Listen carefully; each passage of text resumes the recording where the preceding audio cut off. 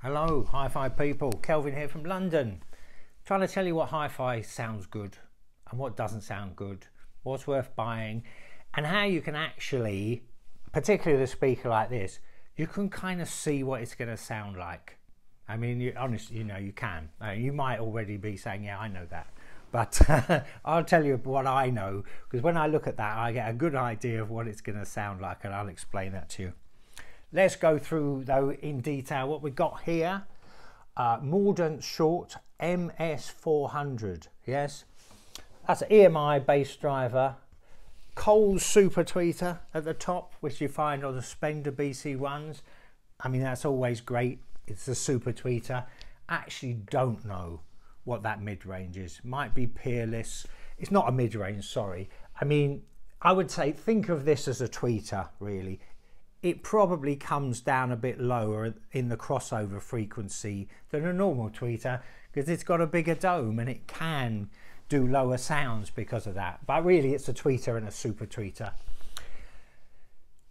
These speakers have been rewired, recapped. So it's given them a new lease of life uh, by Ben uh, at Freaking Audio in Brighton. Um, so if they're not the original, you know, you know, I'm sure they've got they're they're, they're sounding a brighter and more sparky than uh, the originals would. So how can you tell? This is what I think, right? I look at these speakers and I go, okay, I've got a big dome, another dome. It's going to have lots of lots of. It's going to fill the air with top end. You know, it's gonna. You've got two drivers. You're going to have a lot of air you know the air will be alive and it is. And you've got a big paper cone. Now a big paper cone is quick. Generally speaking paper is light and quick. Also when you look at these you look at the edge and you see well it hasn't got a, a big you know a round whatever you call it you know the rubber surround. So this cone is not doing big movements yeah so you know also it's going to be lively, but it's not going to go down super low. Not the real low notes, yes? But it's a big cone and it will give you a lot of general sound. You're going to be getting a lot of sound because, you know, how do you make sound? By moving air. And, you know, that's what the cones do. So, you know, when you get little drivers, how much air can it move, you know? So this is moving a lot of air generally giving a big, airy, detailed sound. Now, few interesting other points. I will, uh, I will do the sound properly in a minute. So this box, veneer, I always like to see veneer, you know, that's kind of a, not a cheap thing to do. It keeps the box taut, I would say, and it's veneered at the back too. Ben's put new speaker terminals on, you know, which is nice. But it's actually, you know, by the time this is like 25 mil before you hit the baffle, the internal volume actually isn't huge, you know. I mean, this is the old fashioned shape, really, which, you know, maybe it's coming back. But, you know, a lot of speakers were used to be wider than they were deep, and that's kind of reversed. Why is that? I don't know if it's about sound, it might be about, you know, what looks good in a living room or what the fashion is. The other thing I just want to quickly say is, you know, you see this edge here, which is like 25 millimeters sticking out. Obviously, you've got uh, grills that go on here. People talk a lot about, oh, this edge is a terrible edge and it, you'll get all these diffractions or whatever it is they say. I, I don't really buy that in great detail anyway. I mean, I, I, I, oh, I can't do it, but part of me thinks I'd like to cut this edge off. I'm going to doubt you'll you'll hear any difference. Oh, it may be a minute, but I'd say it was pretty pretty low differences. They, you know, it's one of these things they're always talking about in speakers. They're always trying to find something to talk about to tell you why it's good, you know. And some of these speakers don't get any better. Quite frankly, the more I think about it, particularly budget speakers, I don't really know why they're not better than they used to be. because they don't seem to be building on knowledge. So it, it's kind of mysterious to me. Anyway, anyway, what else? Thing I would definitely say with these speakers is I just lifted them up at the front a bit, you know, just about, I put a book under it, frankly, 15 mil, because really this driver is very close to the floor, yeah? And so, you know, some of the mid-range coming out here, it's kind of disappearing into the carpet, particularly if you've got carpet. And I, I would do that a lot with floor, sanding, standing speakers, particularly old ones like Kef concertos and stuff like that. Just angle it up a little bit. And then this tweeter is also firing, you know, up into the room instead of being, you know, half a meter off the ground. So, you know, just, just even five mil there and you'll find you get more mid-range, you get more treble, the mid-range gets a bit cleaner. You're just getting more of those frequencies hitting your ear instead of disappearing into the carpet. So actually, I forgot to say, these have been recapped and rewired, but I have an old baffle here of an original one, which I'll just show you for fun.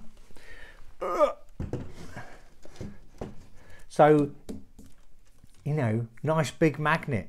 You definitely want to see that, you know. That's a really good sign, nice big magnet. This is an EMI driver. And I don't know whether you could see, but the center of this cone is actually plastic. That's to keep it more rigid. But uh, anyway, just thought I'd show you that. Okay, I'm going to do the sound properly. Go through some songs. One sec. Okay.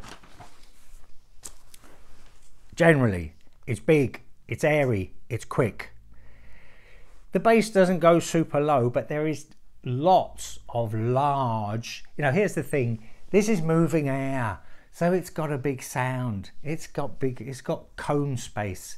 So you're getting a big sound out of here, and a lot of the not low bass, but most of the bass is pokey, tight, taut, even. Yeah. So what I mean there is this is a closed box also. They generally make tighter bass. It's a sealed box of air, no port. So that driver is kind of pulling against some resistance because the, the box only has, is sealed, you know.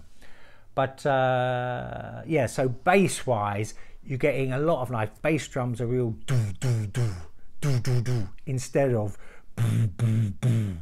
You know, that's what I'm, I mean when I say tight bass or taut bass. I mean it's doom doom doom, not boo boo boo. You know, floppy, soft bass. It's tight and it's big and there's lots of it and it fills the room. Uh, it has there are downsides to this speaker. Uh, so thinking about snare drums, yes. Now you know when you've got a big speaker like that, there's basically doing most of the mid range.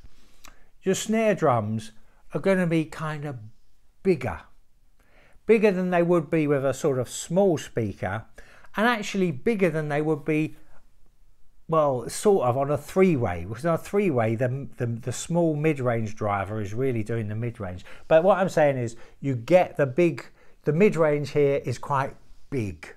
Yes, it's quite big, and it's not like a snare drum is not super cutting on here because that crack of the snare is being done by this great big cone. And in an ideal world, you do it with a small cone that can move super fast. Yeah. So just uh, just to give you the picture there, but let me uh, do a song. I did Angelou, uh, which is Van Morrison. Pokey bass drum, pokey, nice tight bass drum, strings, nice, big, sharp, quick, full of you know the air is air is alive with these. His voice, excuse me, Van Morrison's voice I thought his voice lacked a bit of depth, you know, low end, you know, his voice sounded a little bit higher and a little bit. It wasn't doing his his voice as good as something that would cost a thousand pounds, you know, or more. But uh, you know, I'm, I'm giving you the critical details here. That's what I'm here to do. So yeah, his voice was a bit light. Uh, what did I do? Gravity, Alison Krauss. Again, loads of nice strings. Strings were great, quick, very tight, lovely vocals. Just a tiny bit off her voice. Yes, I mean, what I'm saying here is like not many speakers get people's voices. I find the voice the thing that because you know the voice, you know, whereas an electric guitar it doesn't matter if it's a bit wrong because they could have just moved a setting, you know, but you know the human voice. So it's a that's a real test, you know, the human voice. And I found her, her voice was just a little bit higher again, you know, just a little bit higher than ideal, you know.